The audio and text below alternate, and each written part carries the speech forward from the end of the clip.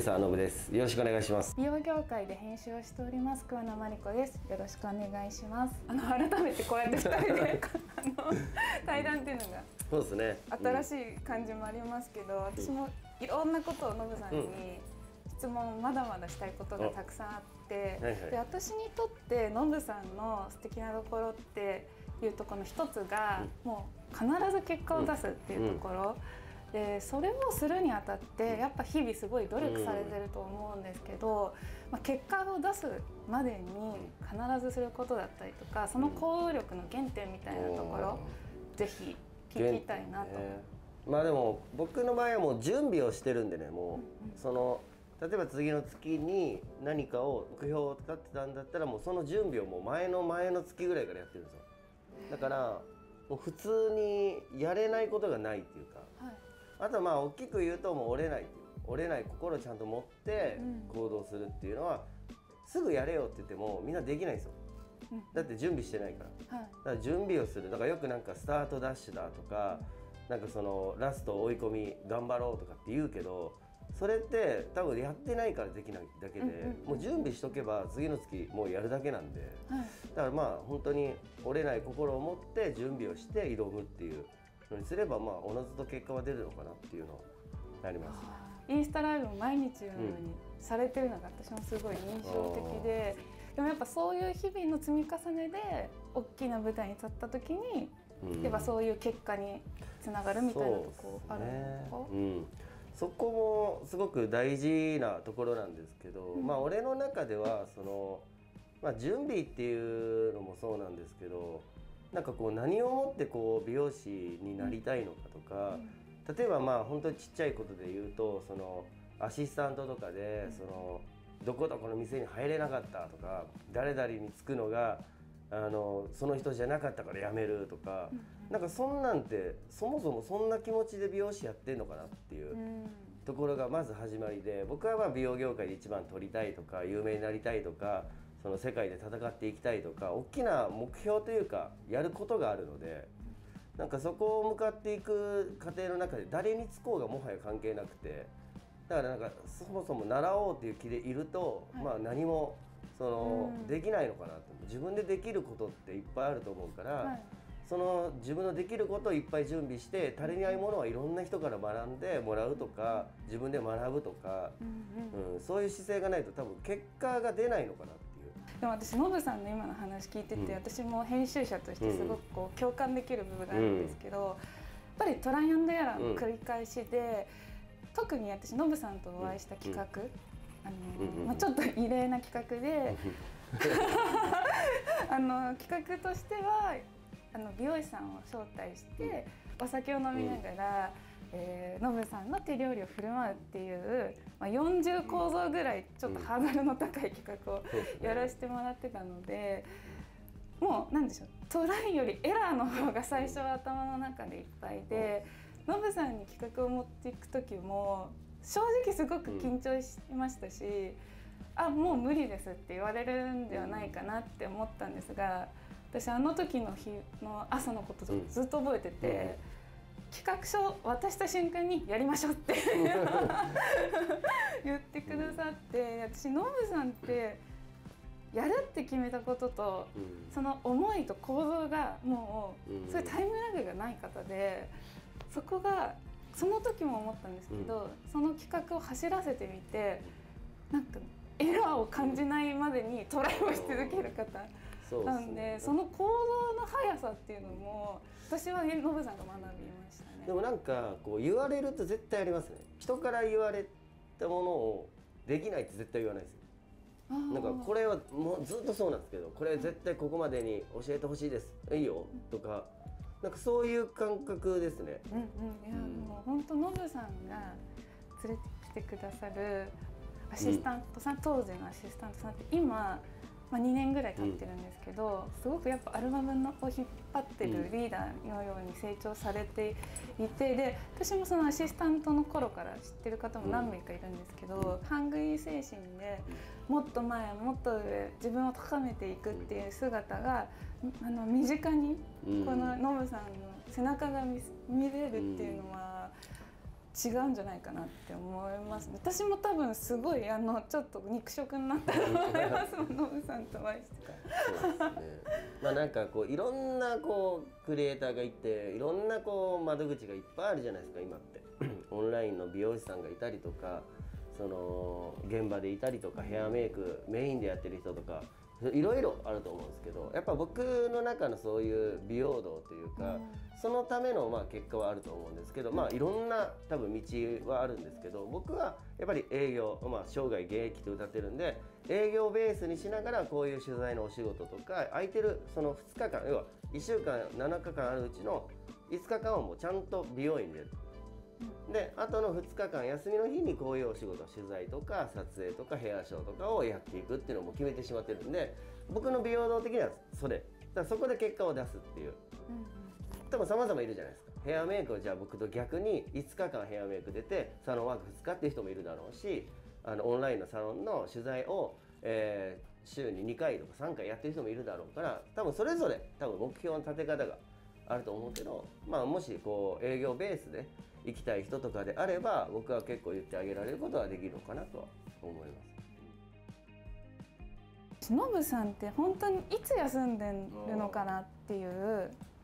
多分皆さんもすごく興味があるというか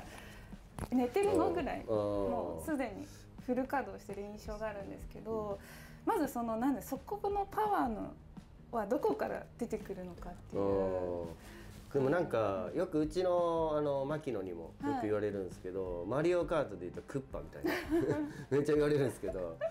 なんかまあそうですね体力はあるかなとは思うんですけど多分なんかその僕こう結構今まで生きてきて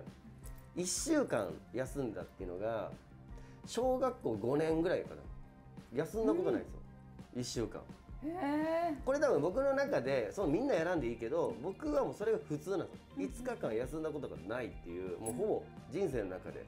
なくてまあ小学校とか中学校の頃は柔道をしてたので強化選手でずーっと練習してたんですね。はい。で高校はもうバイトやりながらもう柔道もまたあ専門のとこ行ってるんでやってて。で専門学校行ったらもうバイトバイトバイトでも美容室のバイトもしてたんですね掃除のバイトとかあったんですよだからもうほとんど休んでないんですよ。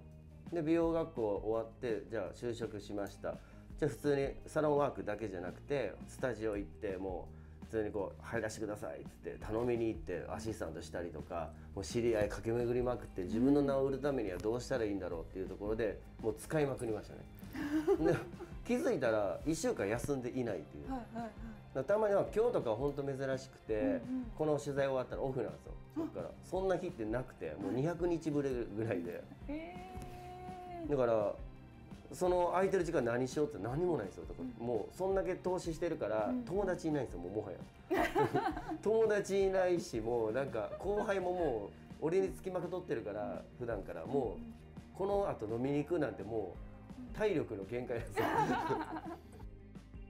えっとインスタのフォロワーをじゃあ1ヶ月で1000人まあ要はやりたいってか立てるとするじゃないですか。1日目でもう100体ぐらいあげますね。だからそれってできるのと思うじゃないですか。できるんですよ。準備しとけば。1日使ってモデルめっちゃ読んで撮影をいろんなカット数で撮って10人ぐらいを、で1人10枚ぐらい撮ったらいいじゃないですか。服着替えさせて。100枚じゃないですか。でその間いいこう振りのところしたらそこで動画1個撮ったりとか、巻くんだったら巻くのも撮ったらいいだろうし、で1日使えば10人で10カット撮っていけば100体撮れるんですよ。1日たったら投資するだけで。でもそれをやればもっといけるなってなるから200体撮る日でどうしたらいいだろうとか。だから何もやってないのに1日しか1投稿も上げれないのに分析してても意味ないんですよやってないのに分析してるんですよ。これ何やってんだろうなって思う。うちのアシスタントにもよく言うんですけど、なんで1日でモデルもあの10人分見つけれないのとかって言うんですよ。でもなんかよく、まあ、僕の先輩方が言うんですけどノブはそれできるかもわからんけど普通の人無理だよって言うんですよ。でも俺からすると普通の人になっていいのって思っちゃうんですよ。本当に嫌ならやったらいいじゃんって思うし、僕の中では全然できるあの行動の一つなん。ですね。だから計画を立ててじゃあまあ今月撮影3台だからまあ初日3日入れとくかとか前の月に。で連絡してこういついつ空いてる？あはいはいはいってなるじゃないですか。で入れるじゃん。もう終わりじゃないですか。だから後の 後の、まあ、23日働くとして後の20日めっちゃ空くじゃないですか。その20日また貯めれば次の月も次の月もできるじゃないですかまあでもただやりすぎてるんで あのストックがめっちゃあるんですよ。だからもう本当やりすぎて3ヶ月ぐらい休んでも全然回ります。動画だけでも。でそういう準備を常にしとくからなんですよね。未開拓の土地すら開拓していくうん。パワーがあって0から1の生み出し方が多分す凄まじい方向から攻めていくっていう私印象あるんですよ。で例えばもう企画から編集者にぶつかってくるみたいなところがある、うん。なんか取材依頼が来て、取材に何か色付けするんじゃなくて、こういうのはいいんじゃないですかやりましょう、うんみたいな感じであ本の当。雑誌社さんにも、うんね。売り込み行かれたって。あの昔とかもう本当これとこれのブッキングが無理だよって言われてたモデルちゃんを勝手にブッキングしたりとかスタジオの撮影分けて。で雑誌社の企画会議の時にも提案して投げて、こういう企画どうですか？この巻きの動画絶対面白いんで。とかまあもちろん福原さんと喋る時もこういう企画でこういうふうにやってあの忘年会の時はこういうふうなやつやっていきましょう。とかメーカーさんとかもヘアショーでもいや1人ずつ1サロンずつ出ても面白くない。だからコラボして出させよう。しかも贅沢に使おう1分1分で。有名な美容師1分。有名な美容師1分。これのコラボレーション。この人が巻い切ったのをこの人が巻きましょう。誰もそんなん見たことないでしょう。ねっていうのをやりたいんですよ。だからもはや僕はプレイヤーじゃなくてそういうのを考えるのが昔から好きなんですよ。組み立てるっていう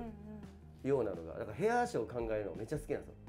でも実は僕はあんま出たくないんですよ。ヘアショー。ね。はい、やってもらいたいんです僕が思う描く美容師さんに本当有名な美容師さんでうん。カット上手い人とか見せ方上手い人を僕が考えたものでやったらどうなるんだろうとか。でもこれは本当に来年とか再来年ぐらいは海外でやっていきたいです。こういうこと。をノブさんがやってみなよって言ってくれるとあやってみようかなっていう気持ちにさせていただけて私多分あの頃ぐらいから、こうなんかこう頭の中でいろんなことを考える前にまずやってみてそこで先ほど話に分析するみたいな感じで結構その過去と未来のことをスポッと抜くようにした、今ここにチャンスがある。そのすそこに全てのしを全力でするっていうことで、多分それが結果が出た時にまた新しいステージが用意されていてまたそれを頑張るっていう、なんか計画してるようしてないようで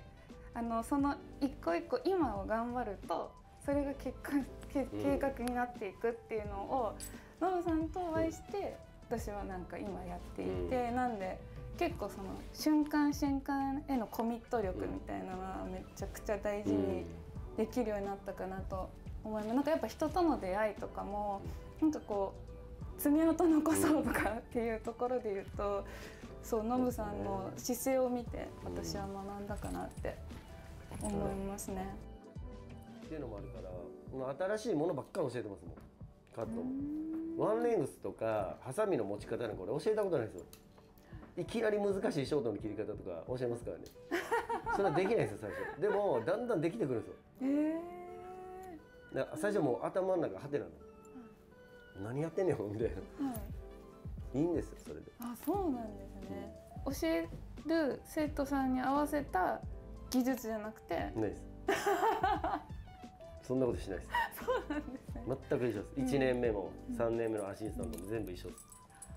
へえ、なんかそれによって効果みたいなのってあるんですかね。う。こーんまあ、うん。できなかったらできないなりに発見するじゃないですか、うん。そこも変えたりはしますけど一回やってみたいですね。だから本当にあのスキー場行って上級者コースにいきなり滑ったことないやつが行けっていう感覚です、わかりやすいですね。でっかいファッションショーではい1年目の子に僕いきなりメイク入れたりするんですようんうんうん行けっつっ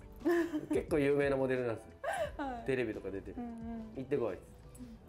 あ、でもなんかわからなくないかもしてれない。めっちゃ一生懸命やるじゃないですか、うんありとあらゆる、うんうん。でどうやったっていやそこちょっと時間かかってるでもどうっつってうんめっちゃレベル上がったくないっつってうん。はい。一つ言うとあそこ今舞台出てるでしょあの俺が最後こ濃く塗れって言ったからあ映えてるけど、うん。あそこじゃ薄いよね。この場合は、あのサロンの撮影のモデルとしてはいけるかも、う。ん。よりだから。うん。遠目に見た時に目立たないから、うん。俺が今ここリップ塗ったみたいにもっとはっきりさせないといけないヘアショーとかファッションショーの場合は、うん。とかあそうなんですね次回試します、でもいきなりグーンって上がるんですよレベルがここしかやったことないのに、うん。いきなりここやらしてるから、はうわーんって上がるんですよ、うん。もうなんかその教育と実績というか、も 本当う一緒の場所で起起きるわけですね。もう裸でディスカバリーチャンネルみたいな。裸でもうジャングル行って もう蚊とかいっぱい刺されろみたいな。でもやり終えた時は もうこんななんですよもうストーンって。もう疲れるんですよやっはい。ぱそれなりに。うんうんうん。それを常にするからですね。営業もそんなもんです。常に出会いなんで。僕でもいろいろスキルあるけどうん。初めて会う人とかうん。はやっぱり分かんないから常に賭けなんですねうんどう喋ろうとかうん。どういこうかそれが毎日得れるのが美容師って仕事なんでうん。勝手にやっぱ教育じゃないけど成長していくうん。感じですね。そこにだから先輩たちはこうした方がちょっと良かったんじゃないのっていうのはちゃんとこう言ってあげないと